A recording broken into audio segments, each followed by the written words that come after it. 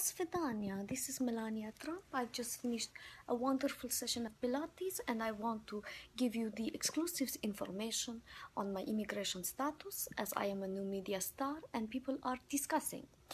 What it is is that I am not a gypsy. First and foremost, that is important. What is gypsy? Is person who can balance a small child on skinny tall stick.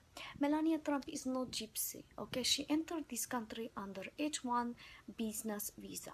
People say, what business Melania Trump has? Business of beauty. Business of beautiful.